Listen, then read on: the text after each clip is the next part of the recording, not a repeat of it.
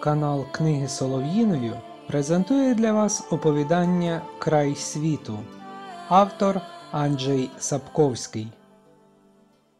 Любисток обережно спустився сходами корчми, несучи два кухлі, із яких стікала піна. Пошепки, лаючись, він протиснувся крізь зграйку зацікавлених дітлахів, які штовхалися навколо. Навскіз перетнув двір, оминаючи коров'ячі коржі. Навкруги виставленого на майдані столу, за яким відьмак розмовляв зі старостою, зібралося вже кільканадцять поселян. Поет поставив кухлі і сів. Одразу зорієнтувався, що під час недовгої відсутності розмова не просунулась уперед ані на п'ять. Я відьмак, пане старосто. Невідомо вкотре повторив Геральт, витраючи рота від пивної піни. Я нічим не торгую, не займаюся і не вербую до війська, і не вмію лікувати сап. Я відьмак. Професія така, невідомо вкотре пояснив любисток. Відьмак, розумієте, стриг убиває, упирів, усіляке паскудство нищить. Професійно, за гроші, розумієте, старосто? Ага. Чоло старости, поране глибокими зморшками важких роздумів, розгладилось. Відьмак, треба ж було так відразу. Ну, власне, кивнув Геральт, тому відразу й запитую знайдеться тут, в окрузі, якась робота для мене. А. Староста знову заходився роздумувати, сліди чого проступили на чолі. Робота, ніби, ну, живолаки. Питаєте, чи є тут живолаки? Відьмак посміхнувся і кивнув, потерши пальцем по віку, що засвербіла. Є.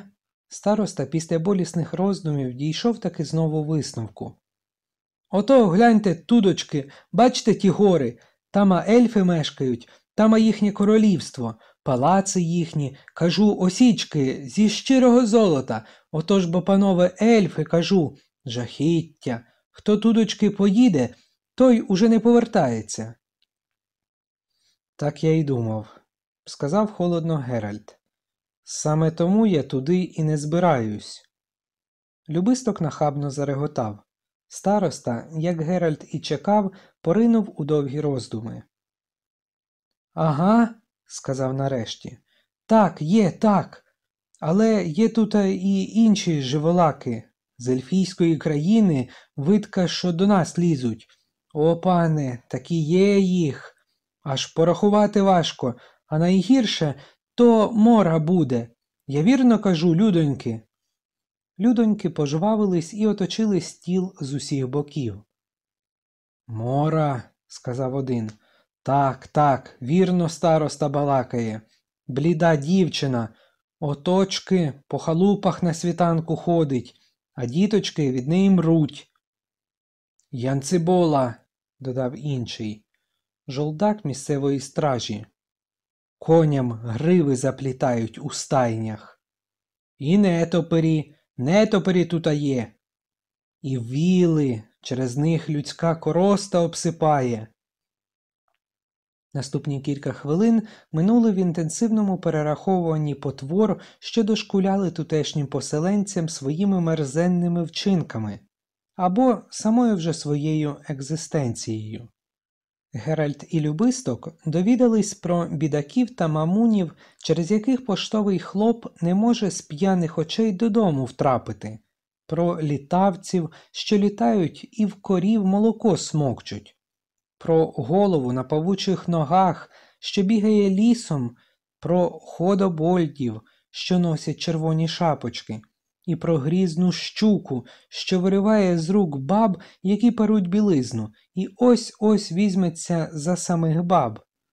Як завжди, не обійшлося без того, щоб не проінформувати, що стара Нарадківна літає вночі на рогачі, а вдень плоди витравлює що мірошник розводить муку пилом із жолудів, а якийсь там Дуда, говорячи про королівського управителя, назвав того злодієм і наволоччю. Геральт вислухав спокійно, киваючи з удаваним зосередженням. Поставив кілька запитань, що стосувалися головним чином доріг і топографії місцини, після чого встав і підморгнув любистку. Ну, то бувайте здорові, добрі люди, сказав він. Скоро повернусь, тоді й побачимо, що можна буде зробити. Вони від'їхали вздовж халуп і тинів мовчки, супроводжувані гавкотом собак і криками дітей. Геральте, озвався любисток, уставши у стременах і зірвавши налите яблуко з гілки, що стирчало за огорожі саду. Ти всю дорогу нарікав, наче тепер доводиться все важче з пошуком занять. А з того, що я мить тому почув, випливає, що тут ти можеш працювати до зими, та ще й без передиху. Ти б заробив трохи грошенят, я мав би непогані теми для балад. Чому ж, поясни мені, ми їдемо далі? Я не заробив би тут ані шеляга, любистку. Чому? Бо тому, що вони говорили, не було ані слова правди. Що, вибач? Жодне зі створінь, про яких вони говорили, не існує. Та ти жартуєш. Любисток виплюнув кісточку і кинув недогризок у дворнягу. Ні, це неможливо. Я придивлявся до тих людей, я в людях розбираюсь, вони не брехали. Ні, погодився відьмак, не брехали. Вони глибоко вірили в усе, але це не змінює факту. Поет певний час мовчав. Жодна з тих потвор, жодна того бути не може. Щось із того, про що вони казали, має існувати, хоча б одне, визнай. Визнаю, одне тут є напевне. І що ж? Нетопирі. Вони виїхали за останні тини на гостинець, що звивався серед огорож жовтих від рапсу і нескінченних від вітру полів збіжжя. Дорогою назустріч тяглися завантажені вози. Барт поклав ногу на луки сідла, спер лютню на коліно і бринькав тепер на струнах тостну мелодію, час від часу махаючи дівулям, які йшли, хихотячи і підіткавши спідниці узбіччям, із граблями на міцних плечах. Геральте, сказав він раптом, але ж потвори є. Може, їх не стільки, як колись, може, не чигають вони за кожним деревом у лісі, але ж вони є, існують. Чому ж виходить так, що люди додатково вигадують і тих, яких не існує? Більше того, вони ще й вірять у те, що вигадують. Чому, Геральте? Геральте із Рівії, славетний відьмаче, чому? Ти не задумувався над причиною? Задумувався, славетний поете. І ту причину я знаю. Цікаво. Люди, Геральт відвернувся, люблять вигадувати потвор і потворності, тоді самі собі здаються менш потворними. Коли напиваються як чіп, ошукують, крадуть, луплять дружину вішками, морують голодом стару бабцю, забивають сокирою впійманого у капкан лиса чи нашпиговують стрілами останнього на світі єдинорога. Люди полюбляють думати, що потворніших за них усе ж мора, яка входить до хат на світанку. Тоді якось легше стає їм на серці, і легше стає жити. Я запам'ятаю, сказав Любисток, помовчавши хвилину. Доберу Риму і складу про те баладу. Склади, але не розраховуй на оплески. Вони їхали повільно, але скоро зникли з очей останні халупи поселення. Незабаром перетнули лінію лісистих узгір'їв. Ха. Любисток стримав коня і роззирнувся. Глянь, Геральте, хіба не чудово? Ідилія, хай мене дияволи, око радіє. Місцевість за узгір'ям плавно спускалася у напрямку рівних пласких полів, посічених мозаїкою різнокольорового збіжжя. Посередині округло й правильно, наче листок конюшини, дзеркально блищали плеса трьох озер, оточених темними смугами вільхових заростей. Горизонт окреслювала імлиста синя лінія гір, що височила над чорними безформенними просторами бору. Їдьмо, любистку. Гостинець вів просто до озер, уздовж греблі і схованих у вільшаних ставків, де повно було галасливих качок крижнів, широконісок, чапель і пірникоз. Багатство пір'їстої звірини дивувало, бо ж усюди помітні були сліди діяльності людини. Греблі доглянуті, обкладені фашиною, перемички, зміцнені камінням та колодами. Дренажі при ставках не прогнили, весело дзюркотіла вода. У приозерному очереті було видно човни та помости, а на плесах стирчали жердини поставлених сіток та ятерів. Любисток раптом обернувся.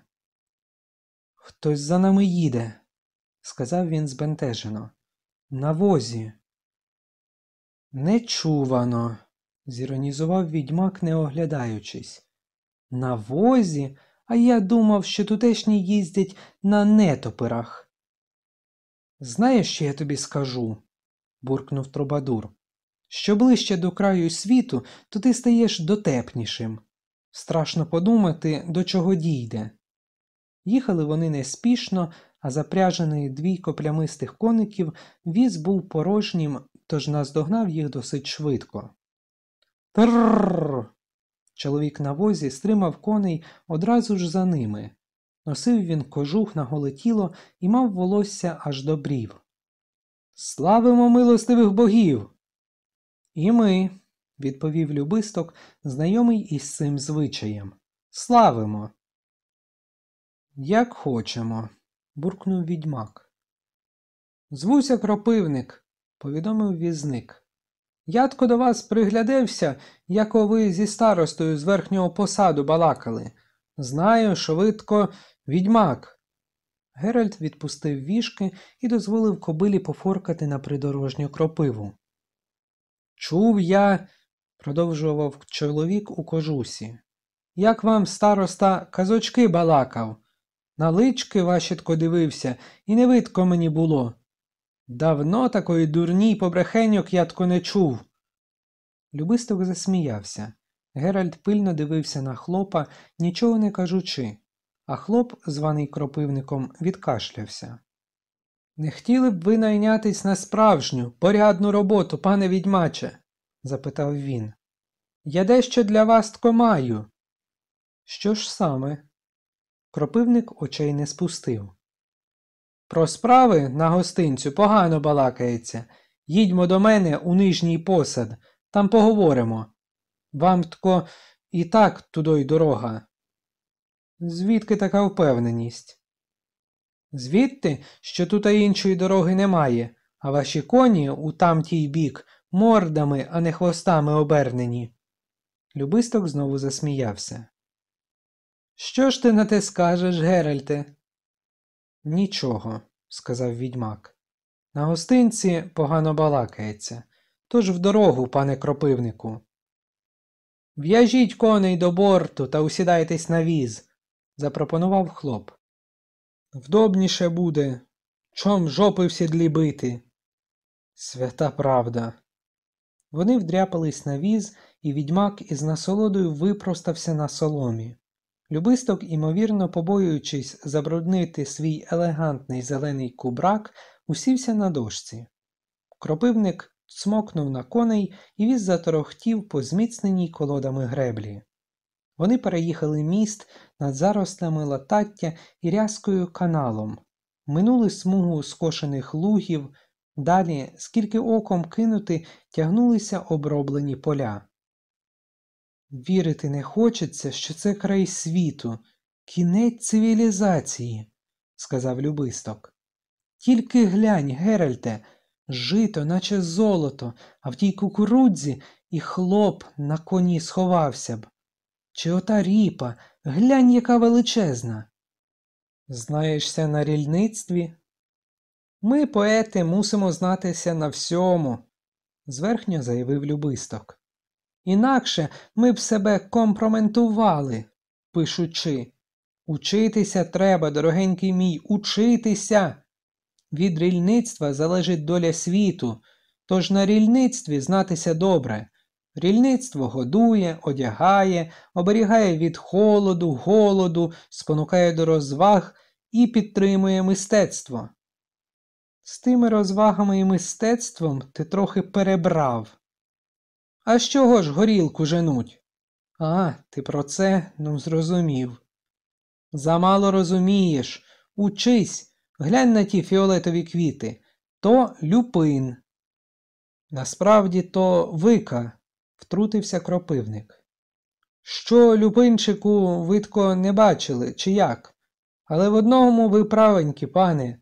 Родитись тут усе ж усім сил і росте так, що аж мало.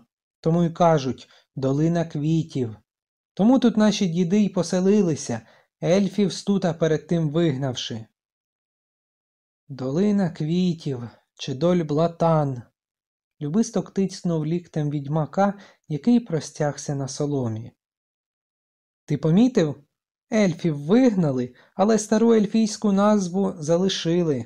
Брак фантазії. А як тут вам з ельфами живеться, хазяїне? Вони ж тут у вас в горах, за межею. Не мішаємось одні до других. Вони собі, а ми собі. Найкращий вихід, сказав поет. Правда, Геральте? Відьмак не відповідав. Розділ другий. Дякуємо за частування. Геральт облизнув кістяну ложку і поклав її в порожню миску. Дякуємо стократно, господарю. А тепер, якщо дозволите, перейдемо до справи. Ага, можна, погодився кропивник. Що, Дуне? Дун, старший нижнього посаду, величезний чолов'яга з понурим поглядом кивнув дівкам, ті поспіхом зібрали зі столу посуд і залишили світлицю, неявний жаль любистка, який від початку бесіди шкірив до них зуби і смішив їх невибагливими жартами. Тож я слухаю, сказав Геральт, дивлячись у вікно, звідки чулися стукіт сокир і звук пилки. На подвір'ї кипіла якась робота із деревиною, різкий смоляний дух долинав аж у хату. Кажіть, чим я можу прислужитися? Кропивник глянув на Дуна. Старший селища кивнув і відкашлявся. Ага, воно тко отакочки є. Є тут єдне таке поле. Геральт копнув під столом любистка, який уже готувався ущіпливо прокоментувати. Поле, продовжував Дун. Добре кажу, кропивнику. Лежало те поле довгий час під паром, але заорали його тко, і тепер саджаємо тамочки коноплі, хміль і льон. Шмат поля, кажу вам, аж до самого бору сягає. І що? не витримав поет. Що воно на тому полі? Ага. Дун підвів голову, пошкріб за вухом. Ага, грацує там диявол. Що? пирснув любисток. Що, що? Я ж кажу диявол. Який диявол? А який має бути диявол і все? Дияволів немає. Не втручайся, любистку, сказав Геральт спокійним голосом. А ви кажіть далі, мольспане Дуне. Я ж кажу, диявол. Це я вже знаю. Геральт, якщо хотів, міг бути надзвичайно терплячим. Розкажіть, який він, звідки взявся, чим вам шкодить, по порядку, як ваша ласка. Ага. Дун підняв кобдура долоню і почав рахувати по черзі, відгинаючи пальці із помітним зусиллям. По черзі, отож бо й вірно, мудрий з вас чоловік. Ага, так. Виглядав він, пане, як диявол. Випиши, вималюй диявола. Звідки взявся, та ні звідки. Бах, трах, брам, і дивись, диявол. А шкодить він тко нам майже не шкодить, щоб занадто. Буває, навіть помагає. Допомагає? зареготався любисток, намагаючись витягнути муху із пива. Диявол? Не втручайся, любистку. Кажіть далі, пане Дуне, у який спосіб допомагає вам отой, як ви кажете? Диявол, ага, повторив із натиском кмет. А допомагає він тко так, ґрунт удобрює, землю спушує, кротів нищить, птахів колошкає, ріпу та буряки доглядає, та й гусінь, що у капусті плодиться, з'їдає, але капусту також по правді з'їдає. Ніц, аби б жерти, як то диявол. Любисток знову зареготав, після чого клацнув пальцями і кинув виловленою з пива мухою у кота, що спав біля вогню. Кіт розплющив одне око і презирливо глянув на барда.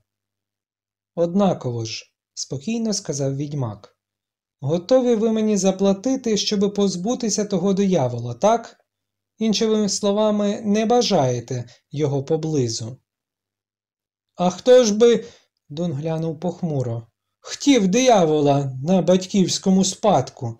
Наша земля з діда прадіда королівським наказом віддана, а диявол до неї ніц. Плювати нам на його тку допомогу, бо ж ми самі рук не маємо. А це ж, пане відьмаче, не диявол, а злостиве бидло, і в голові в нього, перепрошую, засрано так, що й вибрати важко. Зрання невідомо, що йому тко на завтра в макітру сплететься. Бо ж, пане, або у колодязь напаскудить, або ж за дівками ганяє, лякає, погрожує. Краде, пане, худобу і збіжжя, нищить, псує, набридає, на греблі риється, ями копає, наче ондатра чи бобер якийсь. Вода з одного ставка повністю витекла, і коропи поснули. У стягу люльку палив, сучий син, і з димом все сіно пустив. Розумію, перебив Геральт, то ж таки заважає. Ні, покрутив Дун головою. Не заважає. Пустує тільки ось що. Любисток відвернувся до вікна, стримуючи сміх. Відьмак мовчав. А що тут базікати? Відгукнувся кропивник, який мовчав до цього часу. Ви ж відьмак, ні, то наведіть з тим дияволом порадку. Шукати ви роботи в верхньому посаді я чув. То роботу ви й маєте, заплатимо вам тко стільки треба. Але зважте, ми не хочемо, аби ви тко диявола вбили. Що ні, то ні. Відьмак підняв голову і паскудно посміхнувся. Цікаво, сказав він. Так би мовити, не щоденно. Що? зморщився Дун. Нещоденно. Звідки таке милосердя? Не можна вбивати. Дун набусурманився сильніше. Бо у цій долині. Не не всетко, перебив його кропивник. Тільки схопіть його, пане, або вигоньте за сьому гору, а ми при оплаті вастко не зобідемо. Відьмак мовчав, не перестаючи посміхатися. Домовилистко? спитав Дун. Спочатку я хотів би на нього глянути, на того вашого диявола. Кмети перезирнулися. Ваше право, сказав кропивник і устав. І воля ваша. Диявол ночами по всіх усюдах тут гуляє, але вдень десь у коноплях сидить, або серед старих верб на болоті. Там на нього можете глянути. Не станемо вас підганяти. Хочете відпочити, то відпочивайте, скільки забажаєте. Ані зручностей, ані їдла ми для вас не пошкодуємо, відповідно до закону гостинності. Тож лишайтесь. Геральте, Любисток зіскочив із табурета, виглянув на подвір'я на кметів, які саме віддалялися від хати. Я зовсім перестав тебе розуміти.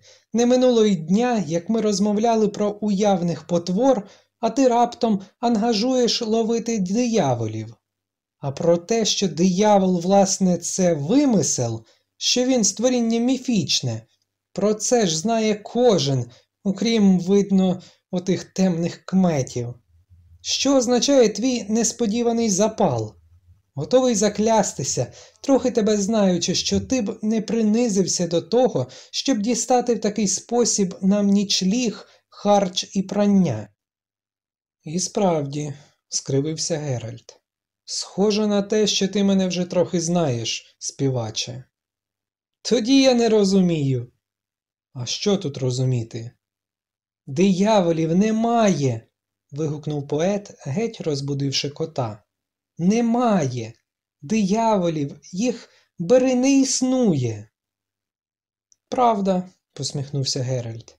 Але я, любистку, ніколи не міг опиратись спокусі поглянути на щось, чого не існує. Розділ третій. Одне напевне, пробурмотів відьмак, обвівши поглядом сплутані конопляні джунглі, що розкинулись попереду. Цей диявол не дурень. З чого ти робиш такий висновок? зацікавився любисток. Із того факту, що сидить він у непрохідних гущавинах, та у будь-якого зайця стане на те розуму. Йдеться про спеціальні властивості конопель. Таке величезне поле емітує сильну антимагічну ауру. Більшість заклять тут не спрацює. А там, глянь, бачиш ті палиці, то хміль. Пилок із шишок хмелю діє схоже, готовий закластися, що це не випадковість. Лайдак відчуває ауру і знає, що він тут у безпеці. Любисток відкашлявся і поправив штани. Цікаво, сказав він, чухаючи лоба під капелюшком. Як ти за те візьмешся, Геральте? Ніколи я не бачив тебе в роботі, б'юся об заклад, що ти трохи знаєшся на ловах дияволів. Намагаюся пригадати собі якісь старовинні балади. Була одна така про диявола і бабу. Непристойна, але кумедна. Баба, уявляєш собі. Давай но без баби, любистку. Як скажеш, хотів лише допомогти, нічого більше. А старовинними пісеньками не слід легковажити, у них накопичено мудрість поколінь. Є балада про парубка наймення Йолоп, який припини балакати. Час братися до роботи, відпрацьовувати харчі прання. І що хочеш зробити? Трохи понишпорити у коноплях. Оригінально, пирхнув Трубадур, хоч і не витончено. А ти б як за це взявся? З розумом, надувся любисток. Спритно, облавою, наприклад, вигнав би диявола з гущавини, а в чистому полі нас догнав би його верхи, взяв на аркан. Що ти про це думаєш? В цілому концепція цікава. Хто зна, може, й дієва, якби не захотів узяти участь у ловах, бо для такої операції треба щонайменше двох. Але поки що ми не полюємо. Поки що я хочу зорієнтуватися, що воно таке, отой диявол. Тому мені треба понишпорити у коноплях. Гей! Барт тільки що це зауважив. Ти меча не взяв. А навіщо? Я теж знаю балади про дияволів. А ні баби, ні парубок на імення Йолоп мечами не користувалися. Любисток розгледівся. Ми мусимо пхатися у саму гущавину? Ти не мусиш. Можеш повертатися у село і чекати на мене там. О, ні, запротестував поет. Втратити таку нагоду я також хочу побачити диявола, переконатися, чи насправді він такий страшний, як його малюють. Я питав, чи там обов'язково треба нам продиратися крізь коноплі, якщо там уже є стежка. І справді, Геральт заслонив очі долонею. Є стежка. Скористаємося нею. А якщо то дияволова стежка, то ще краще. Не ходитимем даремно. Знаєш, Геральте, теревенив бард, крокуючи за відьмаком вузькою нерівною стежкою серед конопель. Я завжди думав, що диявол це тільки метафора, яку вигадали, щоб було чим лякати. Дияволи взяли, хай йому диявол, бо диявола. Ми так говоримо на загальній. Половничики, коли бачать гостей, які йдуть до них, говорять знову когось дияволи несуть. Гноми лаять цю дуел хомул, коли їм щось не вдається, а кепський товар називають duels health. А на старшій мові є таке прислів'я aduebl esse, що означає Я знаю, що воно означає. Перестань потякати, любистку. Любисток замовк, зняв прикрашений пером чапрі капелюшок і обмахнувся ним і витер спітніле чоло. У гущавині панувала важка, волога і задушлива спека, яку ще більше посилював запах квітучих трав і бур'янів. Стежка вильнула і відразу за поворотом закінчилася невеличкою витоптаною в гущавині галявиною. Глянь, любистку. У самому центрі галявини лежав чималий плаский камінь, а на ньому кілька глиняних мисочок. Між мисочками, це впадало у вічі, стояла майже до кінця спалена лойова свічка. Геральт бачив приклеєний до плям розтопленого сала зерна кукурудзи і бобів та інші кісточки з насінням, що не можна було розпізнати. Я так і думав, пробурмотів він. Йому приносять жертви. Справді, сказав поет, вказуючи на свічку. Ставлять дияволу свічку, але годують його, як бачу, зернятками, наче чижика якогось. Зараза, що за холерний хлів. Усе тут аж липне від меду і дьогтю. Що. Наступні слова Барда заглушило грізне гучне бекання. У коноплях щось зашурхотіло і затупало, а потім з гущавини вигулькнуло найдивовижніше створіння, яке тільки Геральту доводилось бачити. Створіння мало десь трохи більше, ніж сажень зросту, витрішкуваті очі, козині роги і бороду. Також і рухливі роздвоєні і м'які губи наштовхували на думку про козу. Нижню частину тіла вкривало густе, темно-руде волосся аж до роздвоєних ратиць. Дивовижа ця мала ще й довгого хвоста із китицею, який тепер енергійно махав. Ук, ук. гукнуло створіння, перебираючи ратицями. Чого вам? Геть, геть, на роги візьму, ук, ук. Тебе хтось під жопу копнув, козлику, не витримав любисток. Ук, ук, забекав козаріг. Важко було зрозуміти, що це підтвердження, заперечення чи ж бекання мистецтва заради. Замовкни, любистку, гаркнув відьмак. Ані слова. Бле, бле. Люто заклекотіло створіння, а його верхня губа широко розійшлась, показуючи жовті кінські зуби. Ук, ук. Ото так. кивнув любисток. Шарманка й дзвіночки твої. Повертатимешся додому, забирай. Перестань, холера, тебе візьми, прошипів Геральт. Ти все псуєш, залиш дурні жарти собі. Жарти. Люто проривів козиріг і підскочив. Жарти, бе, нові жартівники прийшли, га? Принесли кульки залізні. Я вам дам кульок залізник, лайдаки, ук-ук. Жартів вам схотілося, бе. Маєте жартів, маєте вамші кульки, маєте. Створіння підскочило і різко махнуло рукою. Любисток завив і усівся на стежці, тримаючись за чоло. Створіння забекало, махнуло знову, і біля вуха Геральта щось просвистіло. Маєте ваші кульки. Залізна кулька, десь дюймового діаметру, гепнула відьмака в плече. Наступна вдарила любистка в коліно, і поет брудно вилаявся і кинувся навтьоки.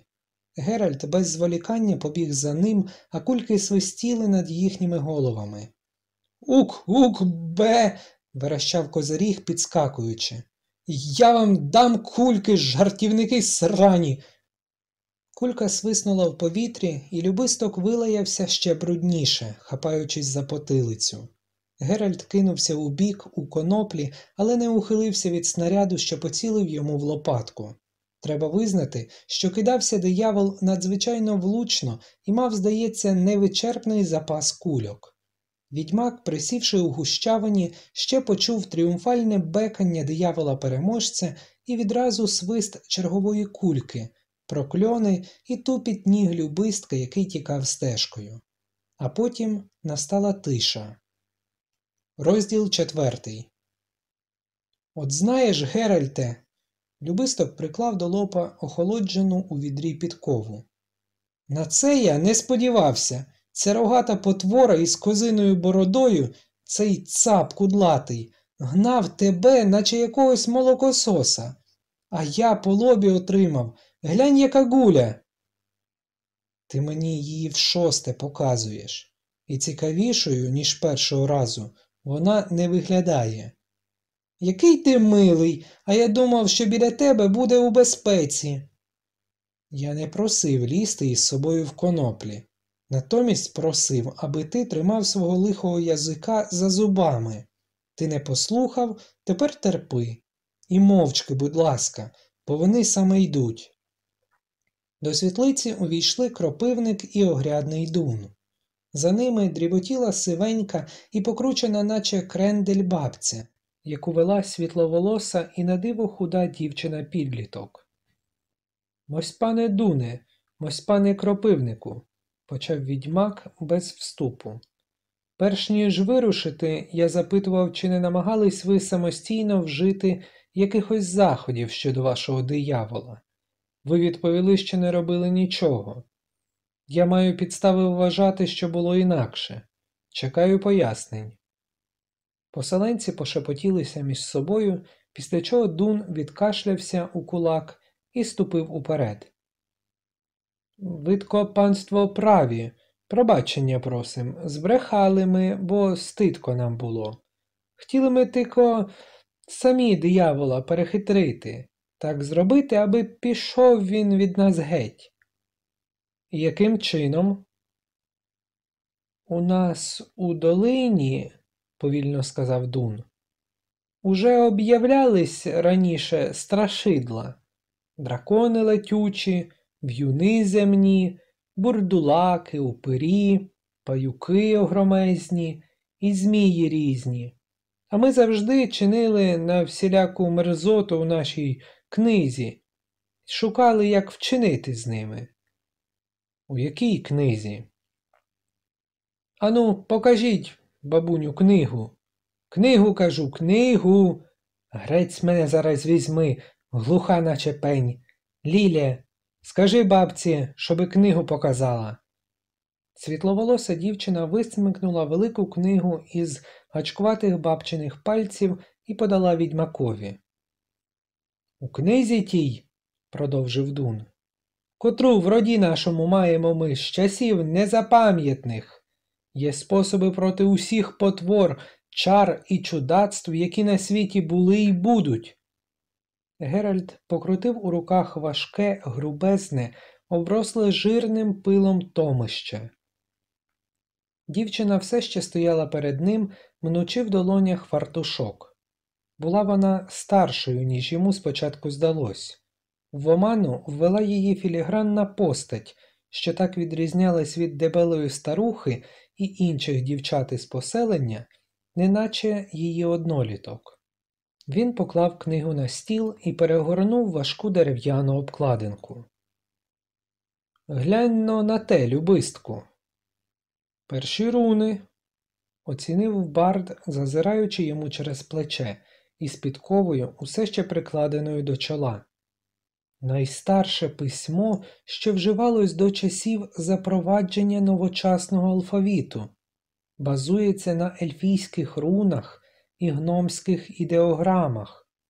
Кумедний синтаксис, але так тоді говорили. Цікаві ілюстрації і ілюмінації.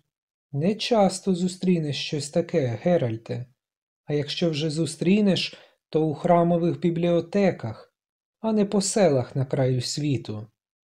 На всіх богів, звідки ви таке маєте, любі поселяни? Не хочете ж нас запевнити, що вмієте це читати? Бабцю, вмієш читати перші руни? Умієш читати будь-які руни? Що? Світловолоса дівчина наблизилась до бабці і прошепотіла їй щось на вухо. Читати? Старенька показала в усмішці беззубі ясна. Я. Ні, золотко, того мистецтва ядко не навчена. Поясніть мені, сказав Геральт холодно, повертаючись до Дуна і кропивника. Яким чином ви користуєтесь книгою, не вміючи читати руни? Найстарша бабка завжди знає, що у книзі стоїть, похмуро сказав Дун. А тому, що знає, учить якусь молоду, коли самій їй ядко час уже у землю. Самі бачите, нашій бабці вже час. Тож бабця пригріла ліле і учить її, але поки що бабця зна краще. Стара відьма і молода відьма, пробуркотів любисток. Якщо я добре зрозумів, недовірливо промовив Геральт. Бабця знає усю книгу на пам'ять. Так, бабуню? Усю ні, де б там, відповіла бабця знову за допомогою ліле. Тільки те, що біля образка стоїть. Ага. Геральт навмання відкрив книгу. На надірваній сторінці було зображено строкату свиню із рогами у формі ліри. Тож похваліть, бабуню, що воно тут написано? Бабця зашамкотіла, придивившись до картинки, і заплющила очі. Тур рогатий альбо Taurus, процитувала. Неуками зюбрем званий облудно, роги має і бодає ними. Досить, досить, дуже добре. Відьмак перегорнув кілька злиплих сторінок. А тут хмарники і планетники розмаїті є. Ті дощ лють, там ті вітер сіють, овам ті перуни мечуть. Хочучи врожай від них охоронити, візьми ніж залізний новий, лайна мишачого лота три, чаплі сивої смальцю. Добре, браво. А тут що воно є? На картинці було намальовано нечесане страшидло на коні із величезними баньками і ще більшими зубами. У правиці страшидло тримало чималий меч, у лівій мішок із грошима. Ведьмак, заплямкала бабця, яко ведьмаком дехтим завоши. Взивати його небезпечно дуже, але ж треба, бо коли проти огидства й потвори нічим не зарадиш, ведьмак зарадить. Слідкувати, аби треба. Досить, буркнув Геральт. Вистачить, бабуню, дякую. Ні ні, запротестував любисток із злорадною посмішкою. Як там далі йдеться? Цікавенна книга. Кажіть, бабуню, кажіть. Е, слідкувати, аби треба, даби ведьмак не дотикався, бо від того запаршивіти можна, і дівок пред ним вкрити, бо ведьмак хтивий є понад всельки сміру. Збігається до останньої літери, засміявся поет, а Ліле, як здалося Геральту, ледь помітно усміхнулася. Понад всельки міру і на злото ласий, бурмотіла бабця, примружившись. Тож не давати онему більше, як за утопця срібний грош або півторака, за котолака срібних два гроша, за вампира срібних грошей три. Ото були часи, буркнув відьмак. Дякую, бабуню. А тепер покажіть нам, де тут про диявола мова і що та книга про диявола мовить. Бо того разу я тко радий був би більше почитати, бо ж цікавлюсь, як способу з ним ужитись. Обережно, Геральте, пирхнув любисток. Починаєш наслідувати цей жаргон. Це заразна манера. Бабця, ледь стримуючи тремтіння рук, перегорнула кілька сторінок. Відьмак і поет схилились над столом. І справді, на сторінці фігурував метальник кульок, рогатий, волохатий, хвостатий і хиже усміхнений. Диавол, проказала бабця, також званий Рокітом та Сільваном.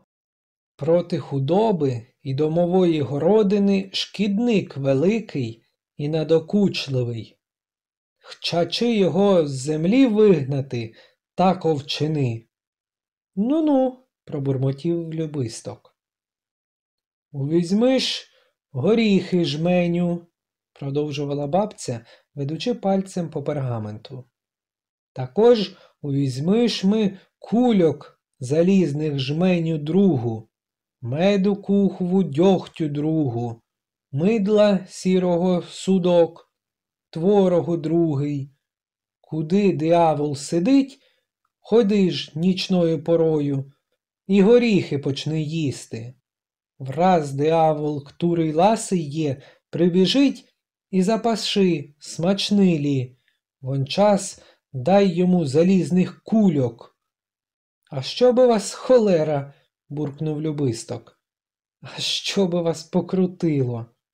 Тихо, сказав Геральт. Ну, бабуню, далі.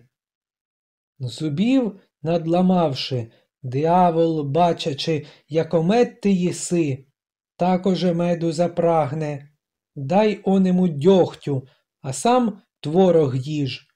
Як почуєш скоро, як диявол унутрі бурчить і корчить, робичи вигляд, як ото ніц, а захоче диявол творогу, дай онему мила. По милові диявол не втримає. Добралися до мила, перебив Геральт із кам'яним обличчям, повернувшись у бік Дуна і кропивника. Та де там? простогнав кропивник. Тільки до кульок. Ох, пане, й дав він тко нам на горіхи, як кульки вгриз. А хто вам казав, розсердився любисток, давати йому тко стільки кульок. Написано в книзі Увізьми кульок залізних жменю, а ви тко онему мішок тих кульок дали. Ви йому амуніцію без малого на два роки забезпечили, дурні. Обережно, посміхнувся відьмак. Наслідуєш жаргон. Це заразно. Дякую. Геральт раптом підвів голову і зазирнув в очі дівчини, що стояла поряд із бабцею. Лілени відвела погляд. Очі мали ясні і насичено сині. Навіщо ви жертвуєте дияволу зерно? запитав він різко. Адже видно, що він типове травоїдне. Лілени відповіла. Я поставив запитання, дівчино, не бійся, від розмови зі мною не паршивіють. Не питайте її ніц, панове, відгукнувся кропивник занепокоєно. Ліле, вона, вона дивна, не відповість вам, не примушуйте її.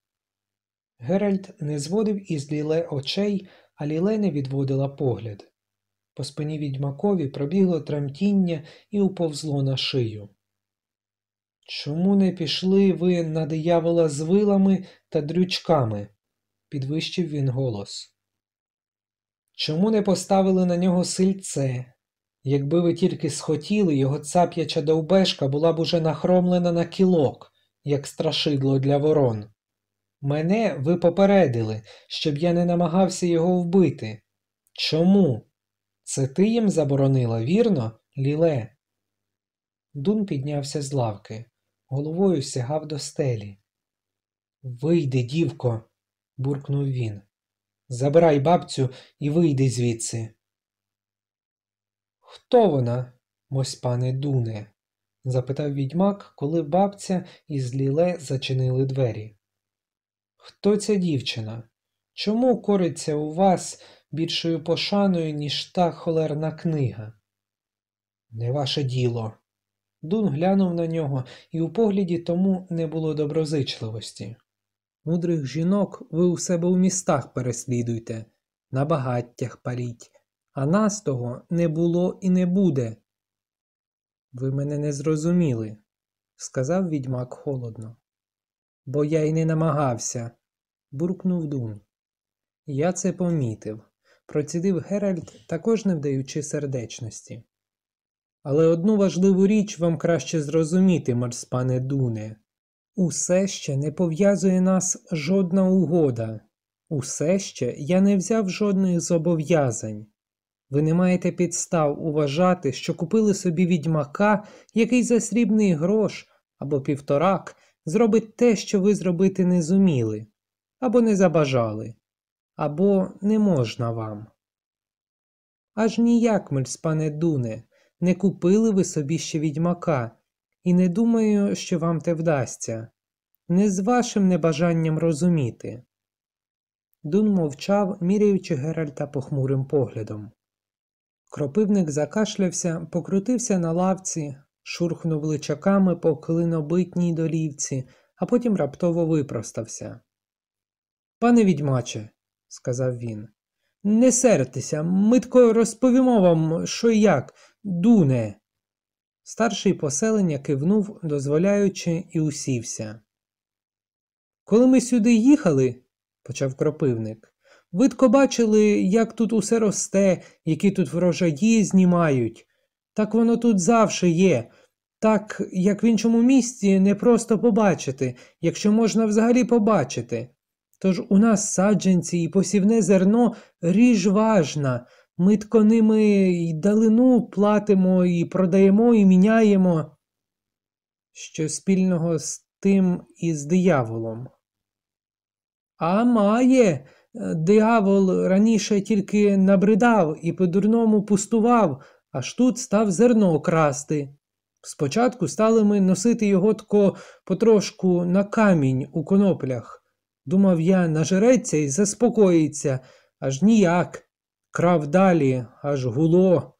А вже як ми перед ним запаси ховати почали по сараях та стодолах, на три замки замкнені, то він тко розлютився, пане, ричав, бекав, укукав, волав, а коли він укук, тоді краще ноги в руки, грозився. І що ж він грозився? Втрутився любисток із широкою посмішкою. Та всіляке, сказав кропивник. А ще про червоного півня згадував, щоби довго не вазікати, як він тако красти не зміг, зажадав данини, наказав зерна собі й інше добро носити аж мішками цілими. Тоді ми й розізлилися та вирішили його хвостату жопу придавити. Але кмет кашлянув та опустив голову. Не треба крутити, раптом відгукнувся Дун. Погано митко відьмака оцінили. Кажи все, кропивнику. Бабця заборонила диавола бити, швидко сказав кропивник. Але ж ми знаємо, що то ліле, бо бабця бабця тільки не говорить те, що ліле їй скаже, а митко, ви ж самі знаєте, пане відьмаче, ми слухаємо. Я помітив, криво посміхнувся Геральт. Бабця ваша може тільки підборіддям трасти та мимрити текст, якої сама не розуміє.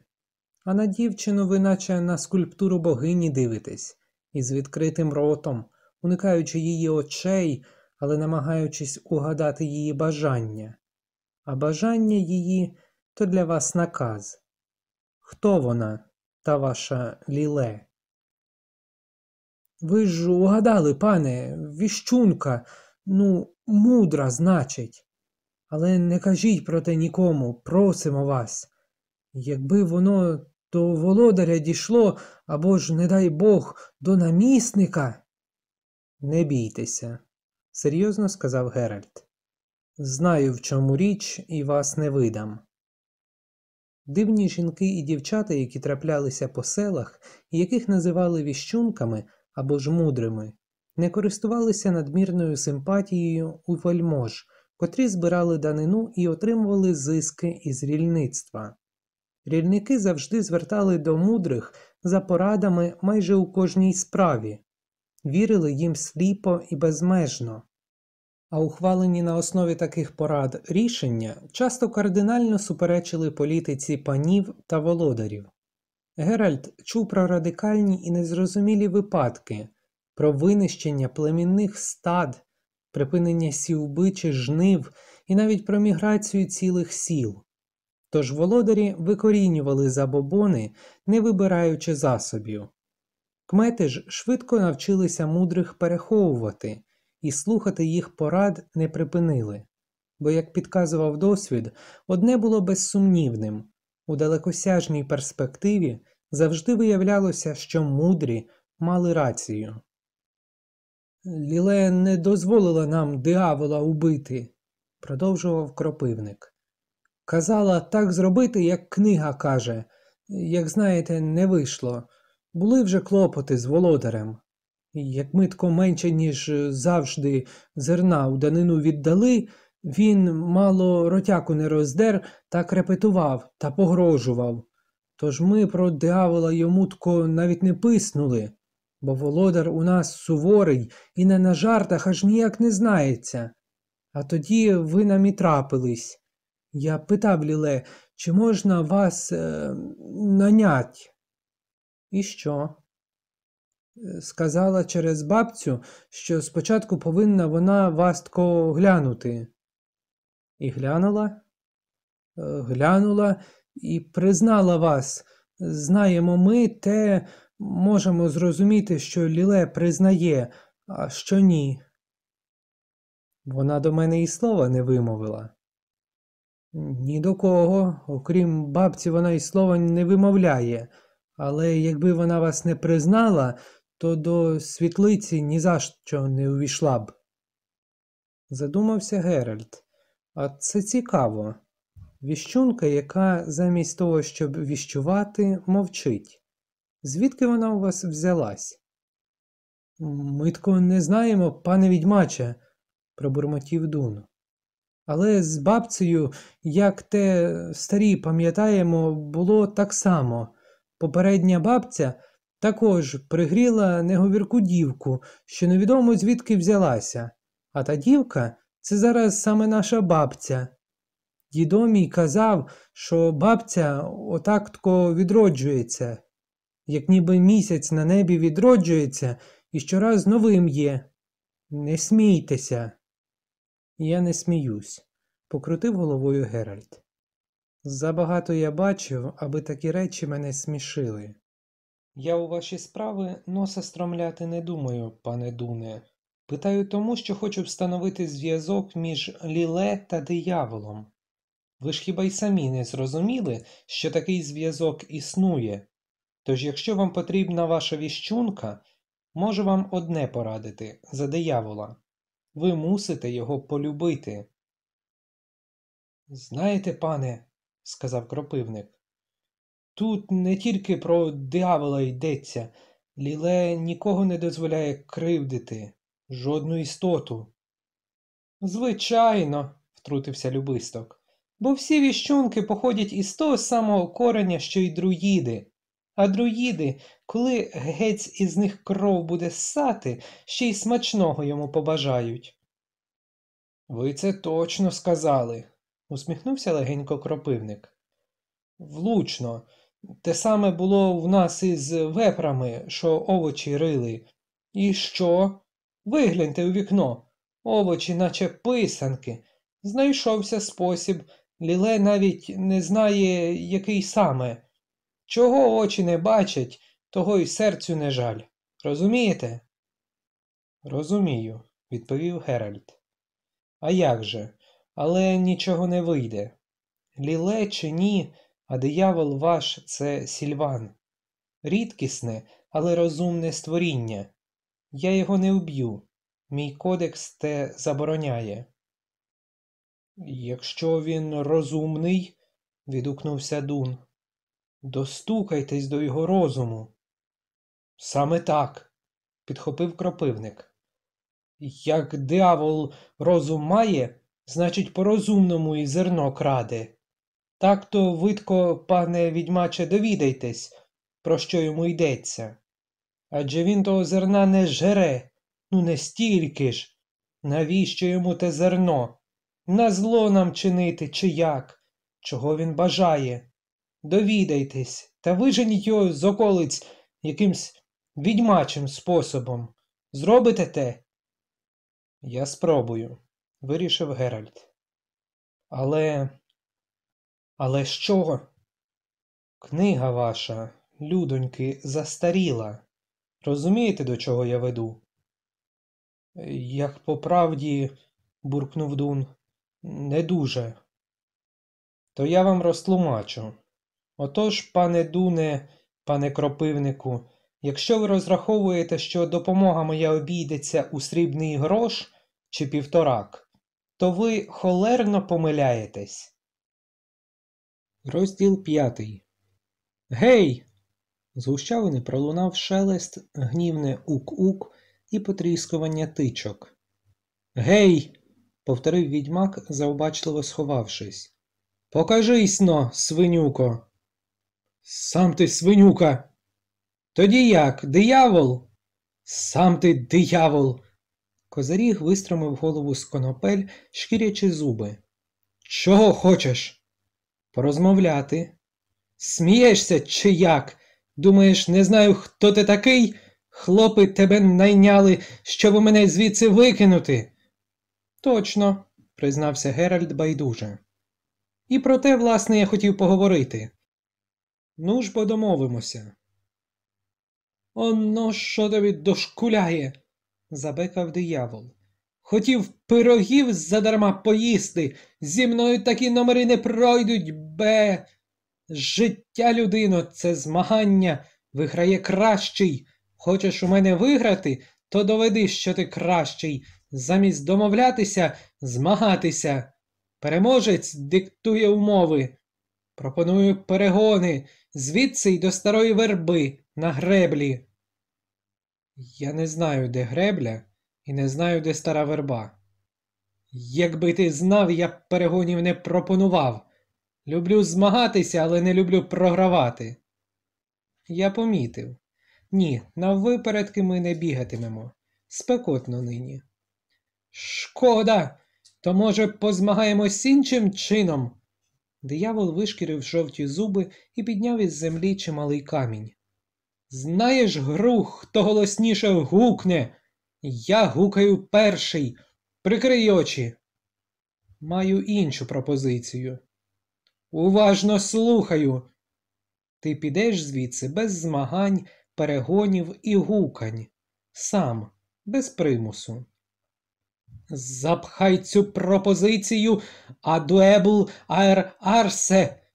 Диявол проявив знання старшої мови. Я звідси не піду, мені тут подобається. Але ти занадто тут набешкетував, перебрав із жартами. Давай шес тобі до моїх жартів. Сільван, як виявилось, знав також і гномську. А ціна твоєї пропозиції стільки, що й дувейшес. Нікуди я не піду, хіба що ти переможеш мене в якійсь грі. Дати тобі шанс. Пограємо у загадки, якщо ти в силових ігор не любиш. Зараз загадаю тобі загадку, якщо відгадаєш її, ти виграв, а я звідси йду. Якщо тобі не вдасться, я залишаюсь, а йдеш ти. Напруж мізки, бо загадка не з легких. Не встиг Геральт запротестувати, як диявол забекав, затопотів ратицями, шмагнув по землі хвостом і вимовив Рожеві листочки, крапчасті стручки, росте в м'якій глині поблизу ріки, на довгій стеблині крапчастий цвіт. Коту не показуй, бо з'їсть на обід. Ну, що воно таке? Угадуй. Поняття не маю. Байдуже зізнався відьмак, навіть не намагаючись задуматись. Може, в'юнкий горішок, Невірно, ти програв. А як звучить справжня відповідь? Що має хм, крапчасті стручечки? Капуста. Слухайно, гаркнув Геральт. Ти починаєш діяти мені на нерви. Я попередив, зареготав диявол, що загадка не з легких. Отож бо, я виграв, тож залишаюсь, а ти йдеш геть. Прощаюся без жалю. Ще хвилину. Відьмак непомітно встромив руку в кишеню. А моя загадка. Я хоча б маю право на реванш. Ні, запротестував диявол. З якого дива? Адже я можу не вгадати. Ти мене за дурня маєш. Ні, покрутив Геральт головою. Я маю тебе за злостивого зухвалого Бовдура. Зараз пограємось у зовсім нову, невідому тобі гру. Ха, оце діло, що за гра? Гра зветься, повільно промовив відьмак. Не роби іншому те, що й тобі неприємно. Очі можеш не заплющувати. Геральт зігнувся у блискавичному замаху, і дюймова залізна кулька різко свиснула в повітрі і тріснула диявола просто межі рогів. Створіння гепнулось навзнак, наче громом бите. Геральт довгим стрибком щучкою кинувся між тичками та ухопив його за волохаті ноги. Сільван забекав та зашарпався. Відьмак сховав голову за плече, але у вухах йому таки задзвеніло, бо диявол, хай і нікчемної статури, ударив із силою злобного мула. Він спробував вчепитися у ратицю, що била і копала, але не зумів. Козаріг заборсався, замолотив по землі руками і стусанув його знову, просто у чоло. Відьмак вилаявся, відчуваючи, як нога диявола вислизає з його пальців. Обидва покотилися в різні боки, із тріском ламаючи тички і плутаючись у конопляних стеблах. Диявол підскочив перший і кинувся, схиливши рогату голову. Але Геральт уже також певно стояв на ногах і без зусиль уник атаки, а тоді схопив створіння за ріг, сильно шарпнув, повалив на землю і притис коліном. Диявол забекав і плюнув йому просто в очі, та ще й в такий спосіб, якого не посоромився б і верблюд із надміром слини. Відьмак рефлекторно відсахнувся, не відпустивши, втім, рогів диявола. Сільван, мотиляючи головою, ударив обома копитами назад і, що найдивніше, обома влучив. І Геральт брудно вилаявся, але не звільнив захвату. Відірвав диявола від землі, притис до тичка, що тряслися, наче у пропасниці, і з усіх сил копнув у волохате коліно, після чого схилився і наплював йому просто в вухо. Диявол завив і заклацав тупими зубами. Не роби іншому те, видихнув відьмак, що й тобі неприємно. Граємо далі. Бе. Диявол булькотів, вив і завзято плювався, але Геральт міцно тримав його за роги і нагинав голову донизу, завдяки чому плювки диявола летіли йому ж на ратиці. Ті дерли землю, здіймали хмарки куряви і трави. Наступні кілька хвилин минули в інтенсивному боруканні обміні лайкою і копняками. Геральт, якщо чомусь і радів, то виключно факту, що його ніхто не бачить, бо ж сцена виглядала занадто ідіотично. Черговий копняк роз'єднав і розкидав їх у протилежні боки гущавини. Диявол знову випередив відьмака, звівся і кинувся навтьоки, помітно кульгаючи. Геральт, важко дихаючи і витираючи обличчя, кинувся навздогін. Продерся крізь коноплі і увірвався у хміль. Відьмак почув тупіт коня, що мчав галопом, звук, на який очікував. Сюди, любистку, сюди. Закричав він. У хміль. Раптом він побачив груди коня одразу перед собою, а наступної миті на нього наїхали.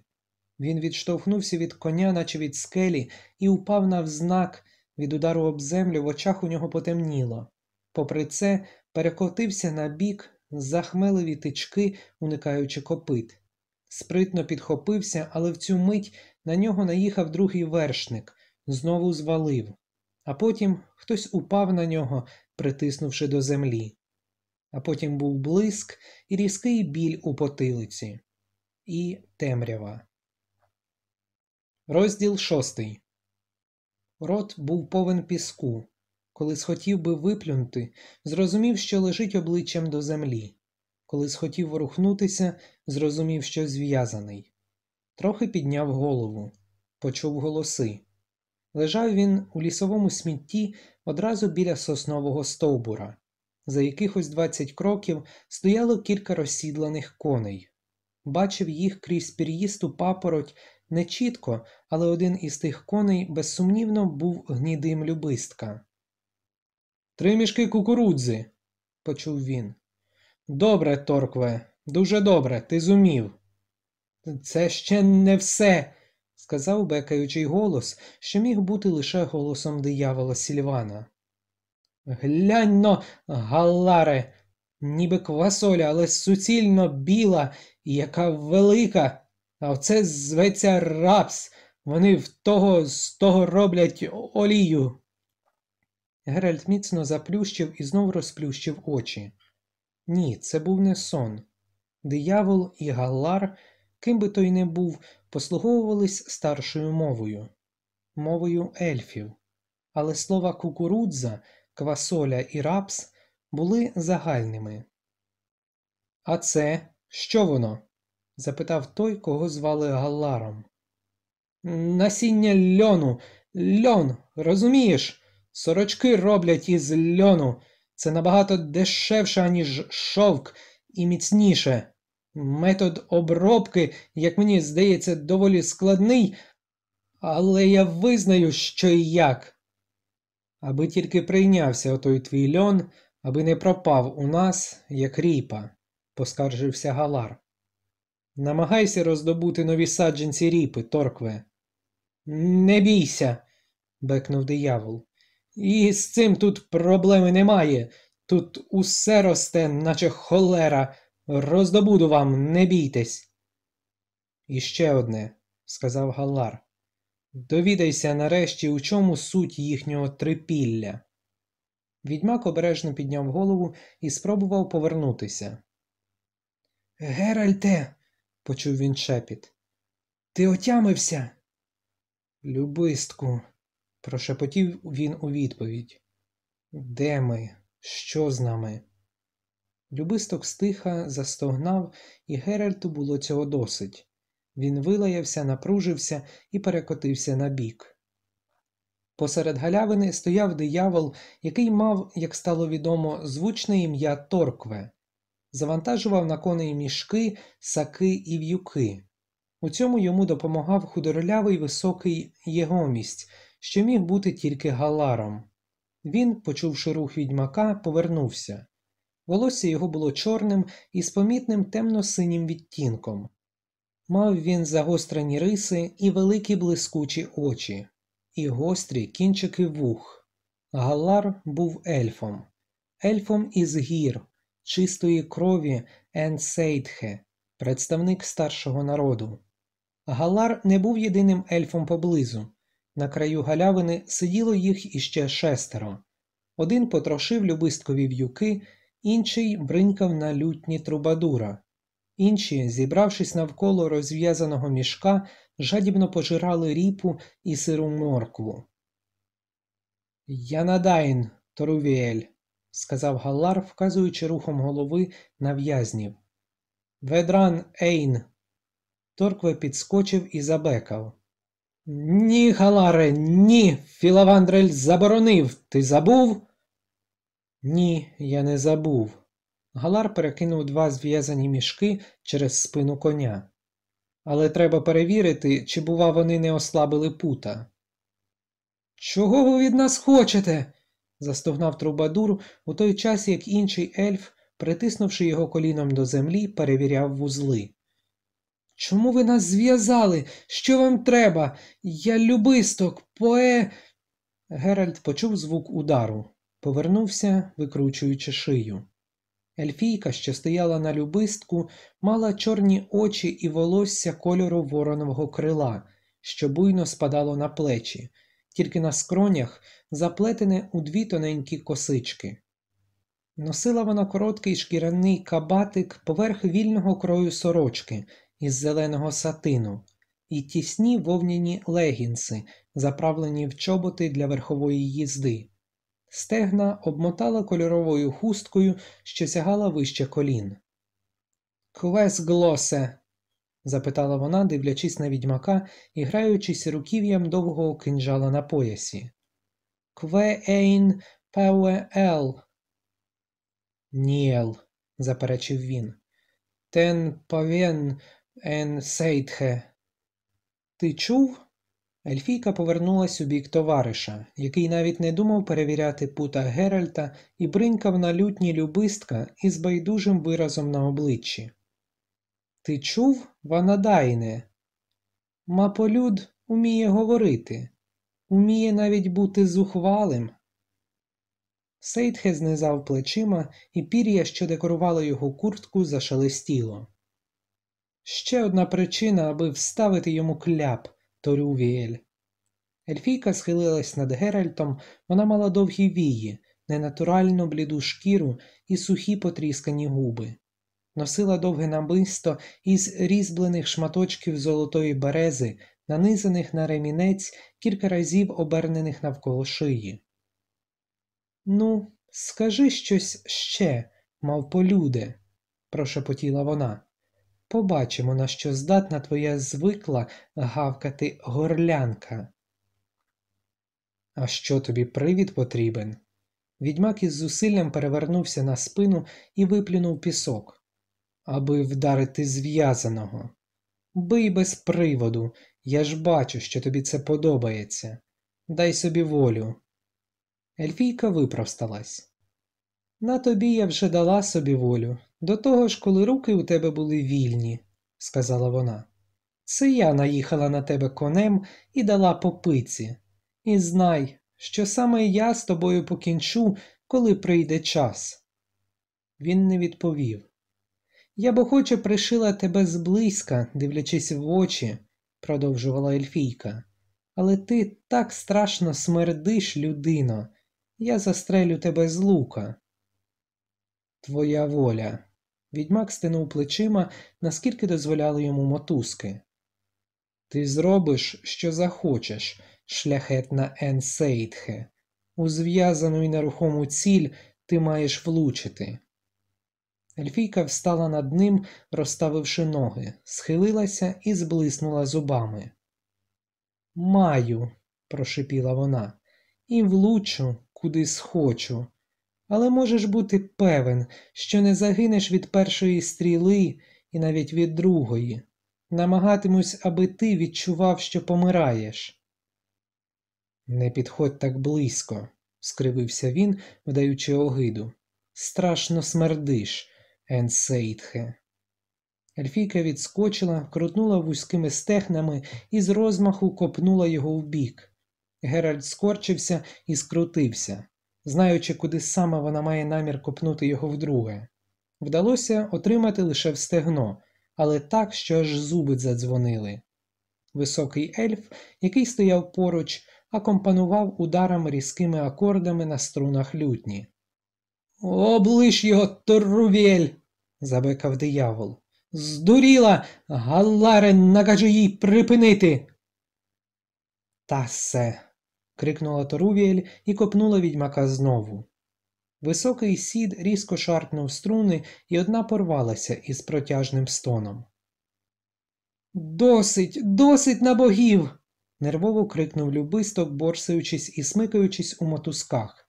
Чого ти знущаєшся із нього, дурна дівко, дай нам спокій, а ти облиш мою лютню, добре? Торувіель повернулась до нього із злою гримасою на потрісканих губах. Музика. гаркнула вона. Людина і музика, лютніст. Вона мовчки вихопила інструмент із рук високого ельфа і з розмаху розтрощила лютню об стовбур сосни і кинула оплутані струнами рештки на груди любисткові. На коров'ячому гівні тобі грати, дикуне, а не на лютні. Поет сполонів, губи йому затрептіли. Геральт, відчуваючи холодну лють, що здіймалась десь усередині, притягнув поглядом чорні очі Торувіель. Що ви тріщаєшся? просичала Ельфійка, схиляючись. Брудний, мов полюде. Хочеш, щоб я виколола тобі гадючі очі? Намисто її зависло прямо над ним. Відьмак напружився, різко зірвався, ухопив намисто зубами і сильно смикнув, підгинаючи ноги і перекочуючись у бік. Торувіель втратила рівновагу і звалилася на нього. Геральт борсався у мотузках, наче викинута на берег риба, притис ельфійку, відхилив голову назад так, щоб аж хруснуло в хребті, і з усієї сили вдарив її чолом в обличчя. Торувіель завила і захлиналася. Його жорстко стягли з неї, тягнучи за волосся та вбрання, і підняли. Хтось його вдарив, він відчув, як перстень ріже шкіру на вилиці. Ліс перед очима затанцював і поплив. Устиг помітити, як Торувіель зривається на коліна, побачив кров, що текла в неї з носа і рота. Ельфійка вихопила кинджал із піхов, але раптом заклякла, згорбилась, схопилась за обличчя і звісила голову між колінами.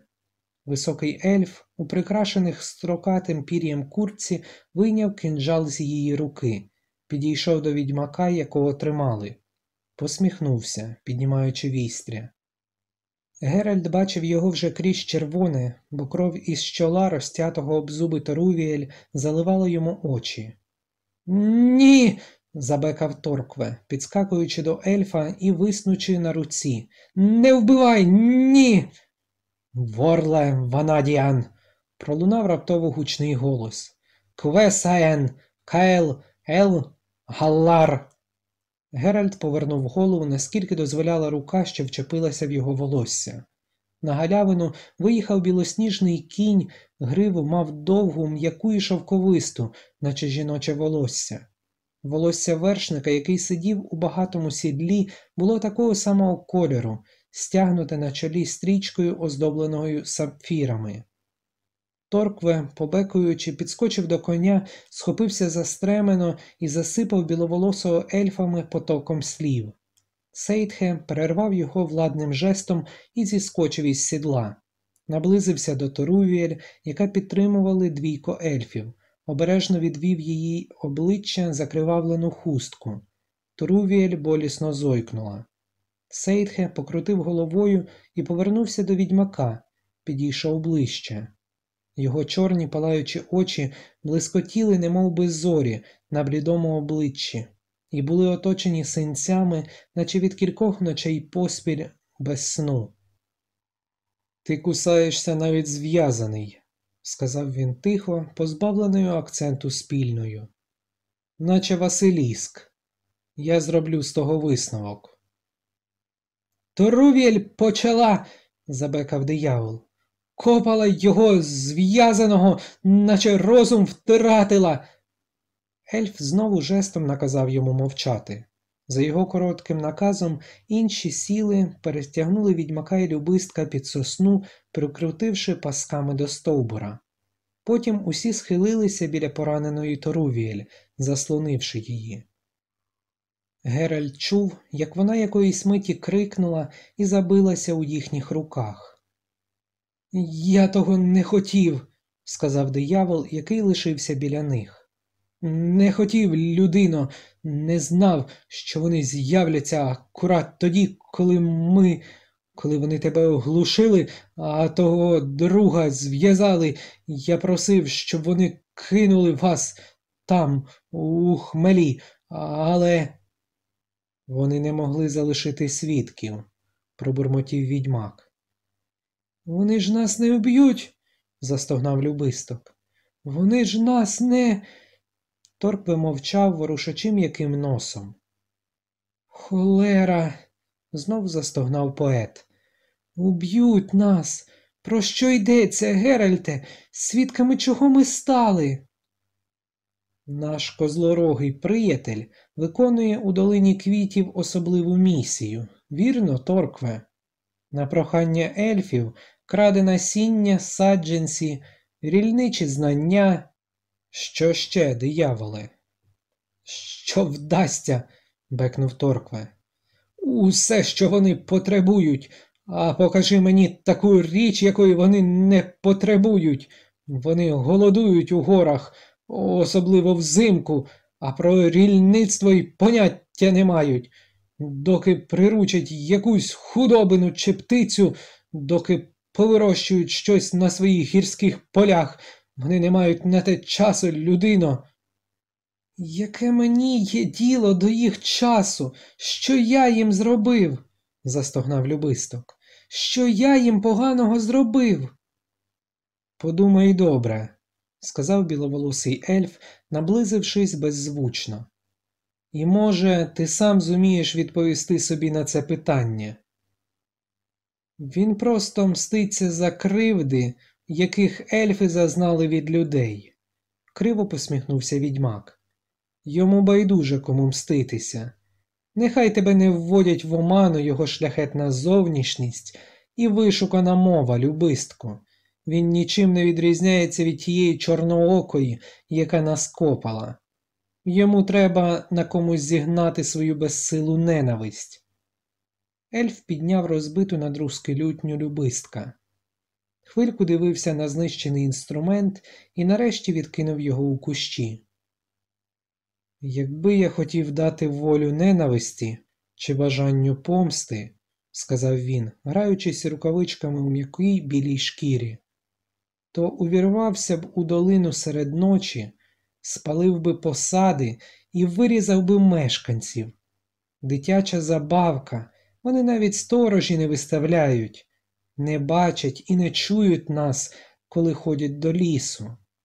Чи може бути щось простіше, щось легше, аніж швидка, тиха стріла з-за дерева?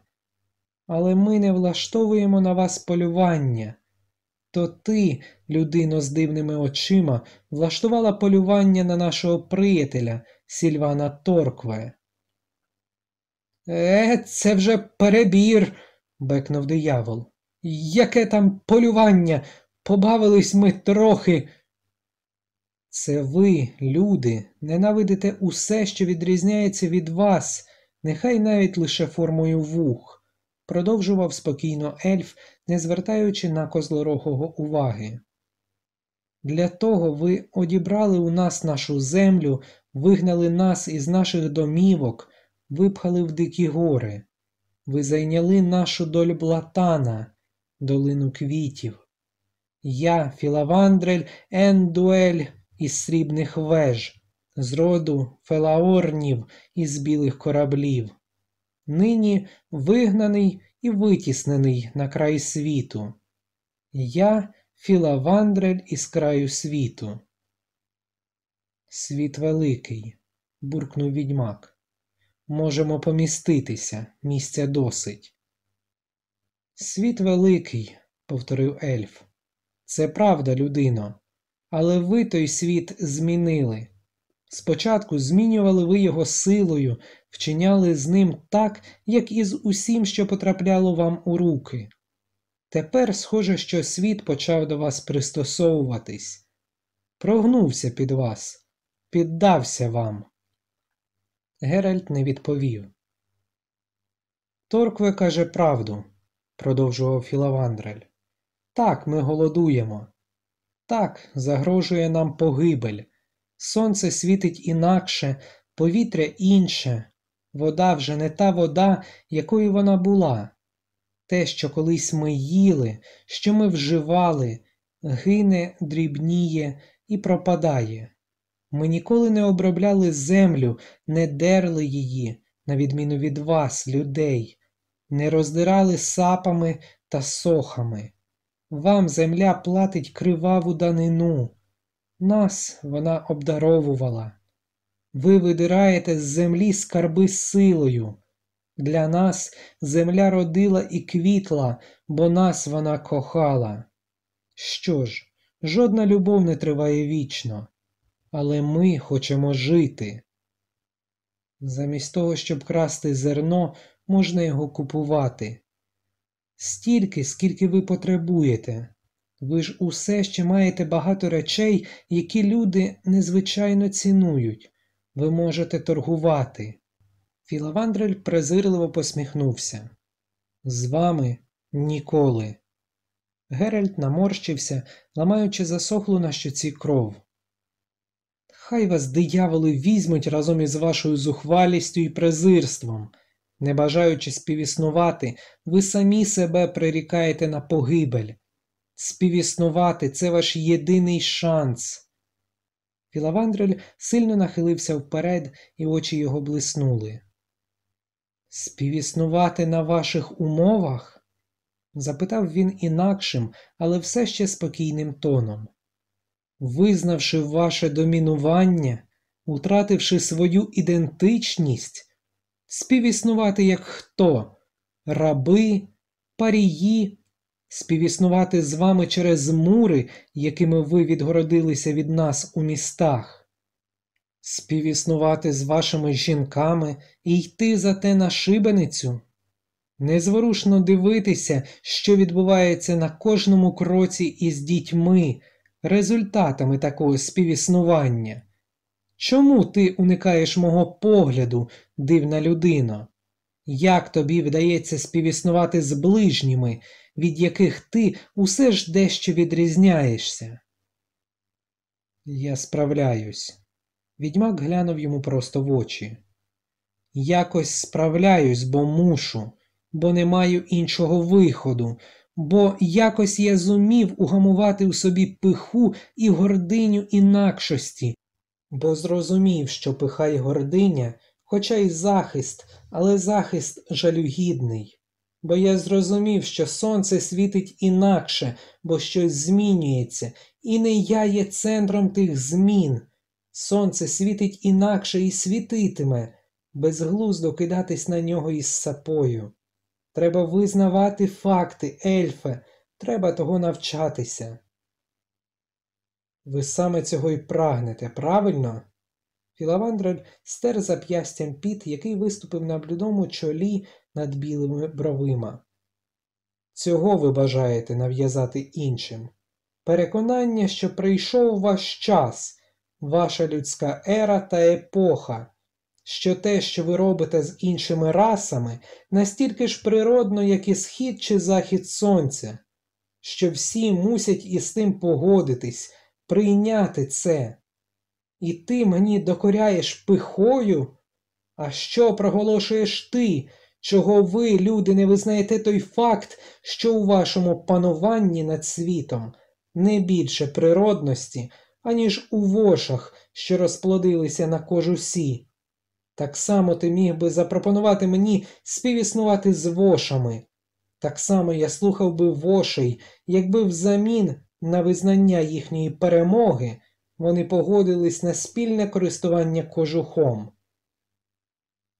То не витрачай часу на дискусію з таким неприємним інсектом, ельфе, сказав відьмак, ледь стримуючись. Дивує мене, як сильно ти прагнеш у такої вочі, як я, пробудити відчуття вини й каяття. Ти жалюгідний, Філавандрель, ти озлоблений, ти прагнеш помсти і усвідомлюєш власне безсилля. Давай, прохровми мене мечем, помстися у моїй особі усій людській расі. Побачиш, наскільки тобі полегшає. Копни мене перед тим у яйця чи в зуби, як ота твоя Торувіель. Філавандрель відвернувся. Торувіель хвора, сказав він. Знаю я ту хворобу і її симптоми. Геральт сплюнув через плече. Те, що я їй прописав, повинне допомогти. І справді, ця розмова не має сенсу. Філавандрель устав. Прикро мені, але ми мусимо вас убити. Помста тут ні до чого, це чисто практичне рішення. Торкве мусить і надалі виконувати своє завдання, і ніхто не має права підозрювати для когось, що він робить. Ми не витримаємо війни з вами, а торгувати і обмінювати не станемо. Ми не настільки ж наївні, щоб не розуміти, чиїм форпостом є ваші купці, хто за ними приходить, і якого роду співіснування приносить. Ельфе. Відгукнувся тихо любисток, який дотепер мовчав. Я маю приятелів, людей, які дадуть за нас викуп. Якщо забажаєш, то і їжею, будь-чим, подумай про це, адже вкрадене насіння вас не врятує. Нічого їх не врятує, перебив Геральт. Не принижуйся перед ним, любистку, не благай його, це безглуздо й жалюгідно. Для того, хто живе так коротко, вимушено усміхнувся Філавандрель. Ти надто презирливо ставишся до смерті, людино. Раз мати народила, раз і помирати, спокійно сказав відьмак. Філософія саме для вошей, вірно? А твоя довговічність. Шкода мені тебе, Філавандрелю. Ельф здійняв брови. Поясни ж, чому саме? Ви жалюгідно смішні, Філавандрелю, із краденими мішечками насіння на в'ючних конях, зі жменькою зерна і з тими крихтами, завдяки яким хочете вижити, і з цією вашою місією, яка має вас відволікти від думок про скору загибель. Бо ти ж усе вже знаєш, що це кінець. Нічого не зійде і не вродить на плоскогір'ях, нічого вже вас не врятує, але ви довговічні, житимете довго, дуже довго, зарозуміло обравши ізоляцію, щоразу слабші, нечисленні, щоразу більш озлоблені. І ти знаєш, що тоді станеться, Філавандрелю. Ти знаєш, що тоді у розпачі юнаки із очима столітніх старців і дівчата відсвілі ялові і хворі, такі як Торувіель, поведуть у долину тих, хто ще зможе тримати в руках мечі та луки.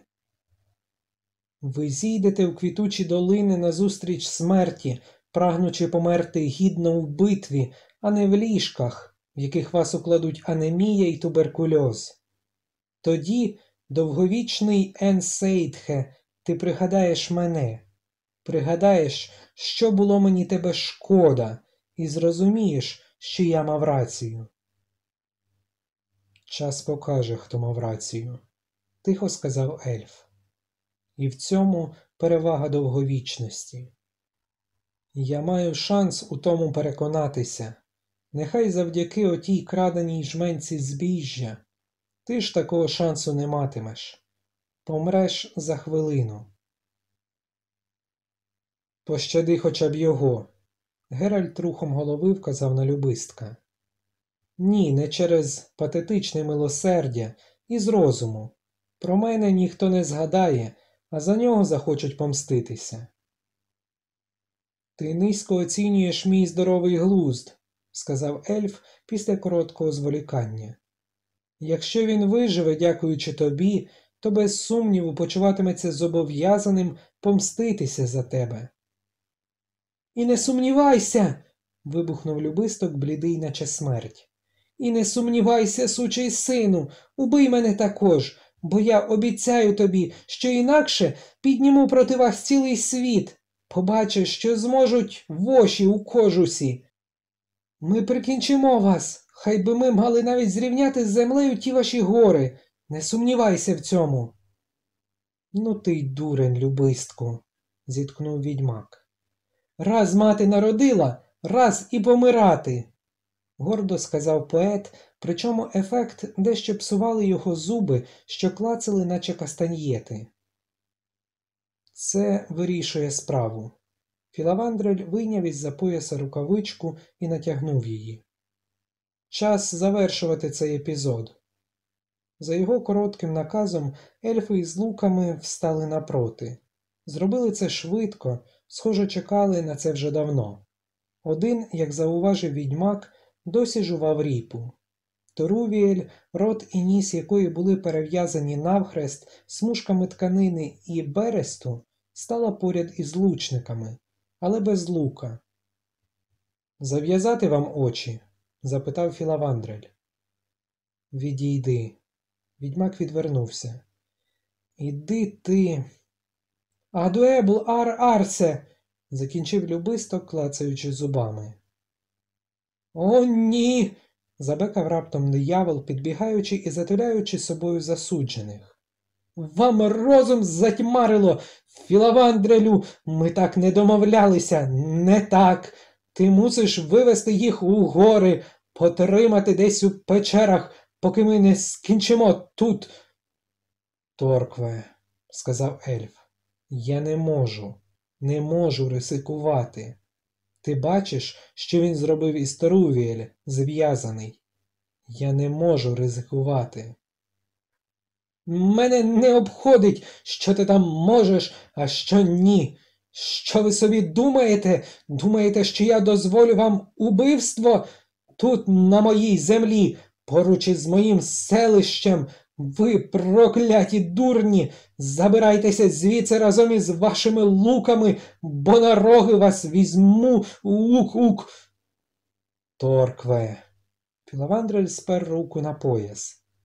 Те, що ми мусимо зробити, необхідність. Дувейшес, а не необхідність. Відійди вбік, Торкве. Козаріг потрусив вухами, забекав іще голосніше, вибалучив очі і зіхнув лікоть у популярному серед гномів непристойному жесті. Не станете ви тут нікого вбивати, сідайте на коней та геть у гори, за перевали, інакше вам доведеться вбити й мене. Будь розсудливим, повільно промовив біловолосий ельф. Якщо ми залишимо їх живими, люди дізнаються про тебе, про те, що ти робиш, піймають тебе і замучать. Ти ж їх знаєш. Знаю. бекнув диявол, усе ще затуляючи собою Геральта. Краще, ніж ви, і не знаю, от чесно, кого краще триматися. Шкодую, що зв'язався з вами, Філавандреле. Ти сам того хотів, холодно відказав ельф, даючи знак лучникам. Ти сам того хотів, Торкве. Леспарален, Ейл Лейн. Ельфи витягнули стріли із колчанів. Відійди, Торкве, сказав Геральт, стискаючи зуби. У цьому немає сенсу, відійди. Диявол, не рухаючись із місця, показав гномський жест і йому. Я чую музику, схлипнув раптом любисток. Таке буває, сказав відьмак, дивлячись на вістря стріл. Не переймайся, зовсім не соромно здуріти від страху. Обличчя Філавандреля раптом змінилося, скорчилося у дивній гримасі. Біловолосий сід різко відвернувся, крикнув на лучників коротко, уривчасто, і лучники опустили зброю. На галявину вийшла ліле. Це було вже не худе сільське дівчисько у полотняній сукенці. Травами, якими заросла галявина, йшла, ні, не йшла, пливла до них королева, сяюча золотоволоса, променисто ока, чарівна королева полів, прикрашена гірляндами квітів, колосків, жмутками трав.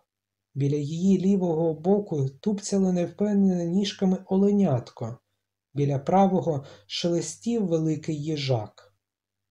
Дана Меабд, стиха промовив Філавандрель, а потім нахилив голову і став на коліно.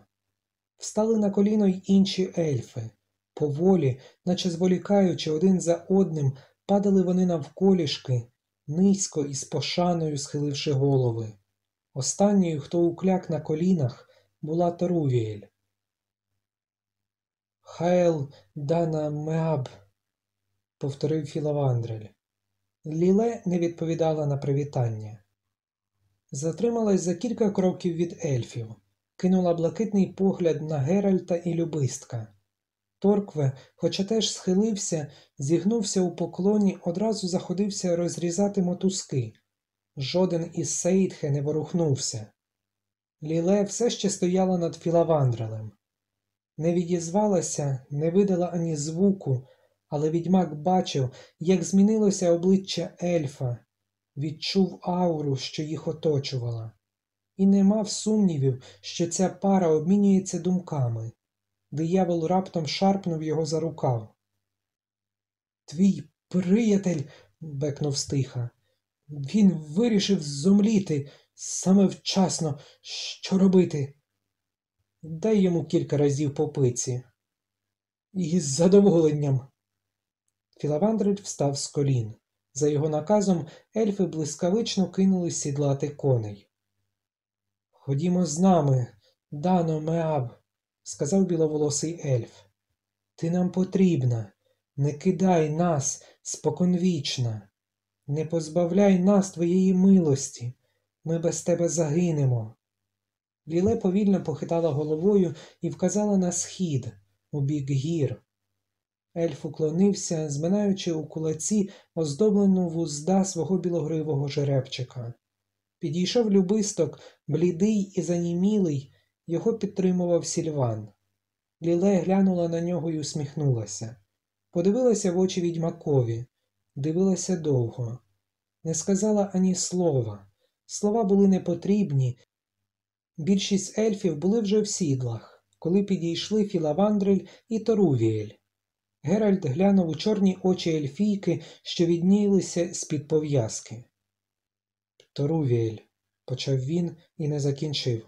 Ельфійка кивнула, зняла із луки сідла лютню причудовий інструмент із легкого майстерно інскрунованого дерева із струнким різьбленим грифом, мовчки вручила лютню любистку. Поет прийняв інструмент і уклонився. Також мовчки, але очі його говорили багато про що. Прощавай, дивна людино, тихо сказав Філавандрель до Геральта. Ти маєш рацію, слова не потрібні, нічого вони не змінять. Геральт мовчав. Якщо подумати, додав Філавандрель, я дійшов висновку, що ти був правий. Тоді, коли було тобі нас шкода, тож до побачення, до побачення скоро, у день, коли ми зійдемо в долину, щоб померти з гідністю. Тоді шукатимемо тебе, я і Торувіель. Не підведи нас. Певний час вони мовчки переглядалися, а потім відьмак відповів коротко і просто Я намагатимусь. Розділ сьомий. На богів, Геральте. Любисток перестав грати, притулив лютню, торкнувся до неї щокою. Це дерево саме співає, ці струни живуть. Що за чудовий тон. Холера, за таку лютню Пара копняків і дещиця страху дуже низька ціна. Я б дозволив копати себе хоч від сходу до світанку, якби знав, що отримаю її, Геральте. Ти мене взагалі слухаєш? Важко вас не чути. Відьмак підняв голову від книги, глянув на диявола, який далі завзято дудів у дивакувату флейту, зроблену із шматків очерету різної довжини. Я чую вас, ціла околиця вас чує. Дувейшес, а не околиця. Торкве підняв флейту. Пустка і все тут, дичина, задуп'я. Ех, шкода мені, мої конопель. Конопель йому шкода, засміявся любисток, обережно підкручуючи любовно зроблені кілочки лютні. Треба було сидіти в гущавині, наче миша під віником, замість страхати дівок, нищити греблі і паскудити криницю. Думаю, що зараз ти станеш обережнішим і облишиш витівки, га, торкве? Я люблю витівки, заявив диявол, шкірячи зуби. І життя собі без них не уявляю, але нехай уже вас обіцяю, що на нових теренах я стану обережним, буду пустувати обережно. Ніч була захмарена і вітряна, і вітер валив очерет, шумів у кущах, між якими вони отаборилися. Любисток додав у вогонь хмизу, торкве крутився на лігвищі, відганяючи хвостом комарів. В озері скидалася риба. Цю нашу експедицію на краю світу я опишу в баладі, заявив Любисток. І тебе в ній також опишу, Торкве. Не думаю, що воно тобі зійде з рук, гаркнув диявол. Тоді я теж напишу баладу і опишу тебе, та ще так, щоб ти за двадцять років не зміг з'явитися у пристойному товаристві. Побачиш тоді, Геральте. Що? Ти вивчав щось цікаве у тій книзі, яку ти видурив у кметів? А як же? То прочитай і нам, поки ще вогонь не згас. Так, так. Любисток бринькав на звучних струнах лютні Торувіель. Прочитай, Геральте. Відьмак сперся на лікоть, присуваючи книгу ближче до багаття. Бачити її можна, почав він. Літньою порою від дня трави і черва аж по дні листопада, але найчастіше зустрічають її на свято серпа, яке прастарі звали Ламас. З'являється вона як опанна світловолоса, уся у квітах, і все, що живе, спішить за нею і тулиться до неї єдно, чи звір, чи зілля. Тому й ім'я її Живія. Прастарі звуть її Данамебі і дуже шанують її. Навіть бородачі, хоча всередині гір не серед полів мешкають, шанують її. Та на небі, пробурмотів любисток. Дана Меаб, панна полів. Як живіє ступне, земля квітне й родить, і буйно парується всіляке створіння, така її сила. Народи усі жертви їй складають із урожаю, у надію, що їх, а не чуже поле живіє відвідає. Бо, мовлять, такоже, що колись наприкінці осяде живіє серед люду того, який їй більше інших сподобається. Але це вже бабські теревені. Бо вірно мудреці баять, що живія лише землю кохає, і те, що на ній росте і живе. Втім, без різниці яблуня дичка це найменша, чи лихий черв'як а люди усі для неї не більше значать, аніж отая хуча із дичок, бо ж і вони колись спідуть, а нові по ним, інші, прийдуть племена. А живія вічною є, була і буде завжди, до скінчення віку. До скінчення віку, проспівав Трубадур і забринькав на лютні. Торкве доєднався високою треллю на своїй очеретяній флейті. До здоров'я тобі, панно полів, за врожай за квіти удоль блатана, але й за шкіру нижче підписаного, яку зберегла ти від дірявлення стрілами. Знаєте, що я вам скажу? Він перестав грати, обійняв лютню, наче дитину, і посмутнів. Мабуть, не згадуватиму в баладі про ельфів і про труднощі, з якими довелося їм боротися. Не забракне тоді охочої сволоти для походу в гори, а навіть прискорюсь. Трубадур замовк. Дійсно, так, гірко промовив Торкве. Хотів ти сказати прискорювати те, що неминуче, невідворотне. Не говори про те, перебив Геральт. Навіщо про те говорити? Слова тут не потрібні. Беріть приклад із Ліле.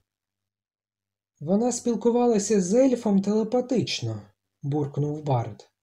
Я те відчував, правда, Геральте? Ти ж відчуваєш таке спілкування. Ти зрозумів, про що вони, що вона передавала ельфові? Дещо зрозумів. Про що вона говорила? Про надію, про те, що все оновлюється і не перестає змінюватись. І все того вистачило. Геральте, Ліле мешкає у селі серед людей. Це не думаєш, що Що серед них і залишиться? Тут, удоль блатана? Можливо, якщо. Якщо що? Якщо люди виявляться достойними, якщо край світу залишиться краєм світу, якщо ми будемо поважати межі. Ну, досить цих балачок, хлопці, час спати. Правда, північ скоро, вогонь згасає. Я посиджу ще, завжди найкраще мені віршується біля багаття, що догорає. І ще треба назву для цієї балади, пристойну назву. Може, край світу? Банально, хмикнув поет. Навіть якщо це і насправді кінець, треба б місце те назвати інакше, метафорично. Закладаюся, що ти знаєш, що воно таке метафора, га, Геральте? Треба подумати. Там, де. От холера, там, де. Кінець оповідання. Дякую, що прослухали чергове оповідання з циклу Відьмак. Дякую за ваші коментарі, вподобайки, підписки та донати. Особлива подяка воїнам, котрі захищають Україну. Бережіть себе, підтримуйте ЗСУ та слухайте українською мовою.